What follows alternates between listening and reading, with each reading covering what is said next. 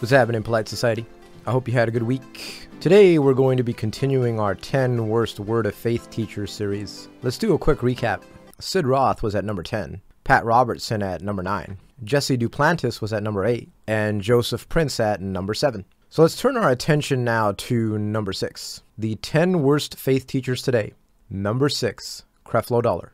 Creflo Dollar is the leader of World Changers. In preparation for this video, I listened to several of Mr. Dollar's talks. In my initial video on the Word of Faith teacher, I provided a brief biographical sketch, a short description of his private jet campaign, and a quick interaction with his false little gods teaching. This time around, I thought I'd respond to a few comments he made in his 2015 presentation titled The Gift of the Holy Spirit. Alright, let's delve in. The Bible says in Luke chapter 10 and 19, he says, I've given you power over serpents, scorpions, and over all the power of the enemy, and nothing will by in any means hurt you. Think of that. You have been given authority, which is the right to command, you know.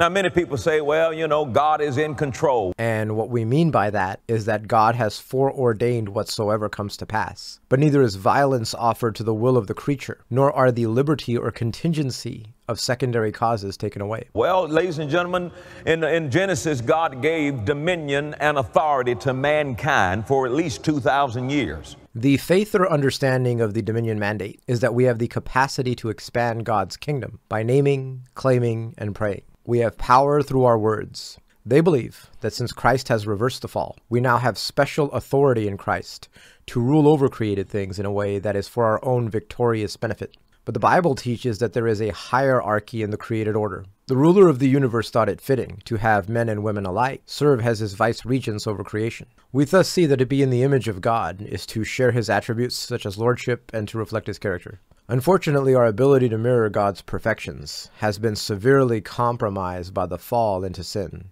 Despite that, as redeemed saints, our goal should still be to manifest God's righteous rule over all of creation. We do this by calling our political leaders to rule righteously, disciplining both our children and all God's people, so that the earth might be filled with redeemed image bearers who wisely and justly manifest the Lord's sovereign holiness. So everything that happens on this planet, you can't blame God for. Men and women are 100% fully culpable for their actions. But the scriptures also teach that God uses the evil intentions of men to bring about good. We've gone over texts that affirm this before in the past Genesis 50, Isaiah 10, Acts 2, Acts 4. God is in absolute control over evil, and He has a purpose for evil in His divine plan. You can't blame God for it because you, you can't go to God, Lord, why'd you let that happen? Because heaven is saying, why'd you let it happen? We gave, we gave the controls to you. God is in control. Humans have creaturely will, but not autonomous free will. The elect are saved through the transforming power of the Holy Spirit. Unsaved men and women act according to their own desires within the fabric of time, but their actions are subject to God's divine decree. God's restraining hand holds back much of the evil in this world. In fact, many humans desire to do even more evil, and God restrains their wicked actions continually. And that is something which we rarely thank Him for. See, you have authority over the devil. You have authority over serpents and scorpions. You have authority over devils and demons. You have authority over earthquakes and hurricanes. You have authority over the wind and the rain, but you won't use it. Okay, those are some wildly false statements. In Matthew 10, Jesus gave authority to his 12 apostles to heal the sick, raise the dead, cleanse the lepers, and cast out demons. Christ gave this authority to his apostles, not to all Christians in every place at every time. Power over earthquakes, hurricanes, the wind, and the rain? There is a possible reference to Elijah here, I believe. We do not have power over nature. That would be the Father, the Son, and the Holy Spirit who possess that power. Now, of course, he's going to follow the standard word of faith argument and state that since we are indwelt by the Holy Spirit, then that means we can do the same things our Lord did. So, right now, we have the authority. You have been given the authority by the Almighty God to act like little Jesuses on the earth. And Jesus came as a demonstration, as an, as an example of how a man should operate in that authority. Jesus came as a man anointed by God. There's nothing Jesus did that you can't do without that same anointing. Jesus is the God man. He is unique because he is God incarnate. and our anointing is not identical to his. In 1 John 2, the apostle states that our anointing gives us true knowledge which separates us from apostates. Jesus is the divine Messiah who was promised in the Old Testament. It is true that we have been given the mind of Christ, but that does not mean all true believers possess within them the power to work mighty miracles. We all don't actually have that potential or power within us. In 1 Corinthians 12 29, Paul says, All are not apostles, are they? All are not prophets, are they? All are not teachers, are they? All are not workers of miracles, are they? Being a card carrying cessationist myself, I of course do not believe that the apostolic sign gifts carry over into the post apostolic age. However, as this text demonstrates, even in the first century, gifts of healings were only performed by certain individuals, not all believers. But you keep letting the devil tell you you just a man. You were just a man until grace gave you the gift of the Holy Ghost, and then you went from being just a man to being a superman. Lord, have mercy. No, we went from being cursed and fallen humanity under Adam to being redeemed humanity under Christ.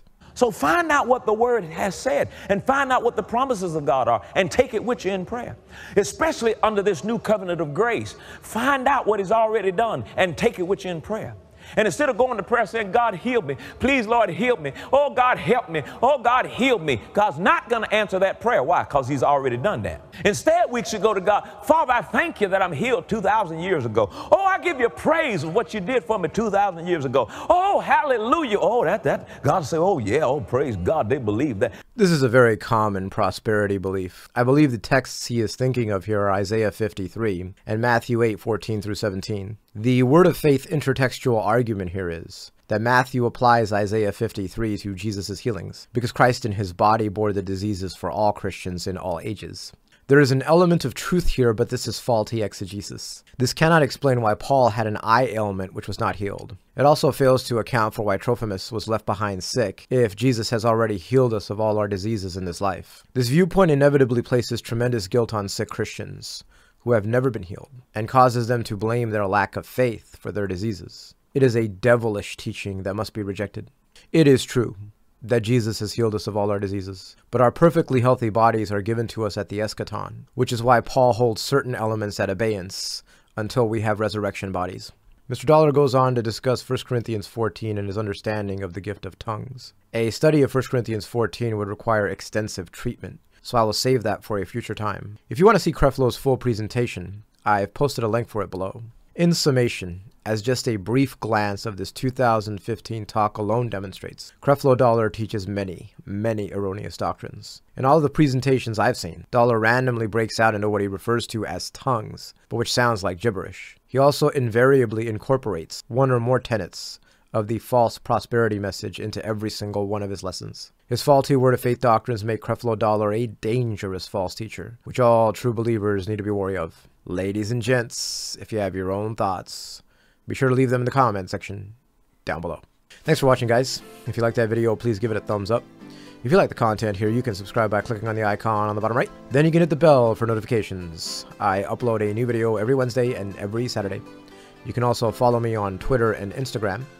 Have an awesome week. And for my brothers and sisters in the Lord, may the grace of the Lord Jesus Christ, the love of God, and the fellowship of the Holy Spirit be with you all always. I will see you all in the next video. God's blessings on your week.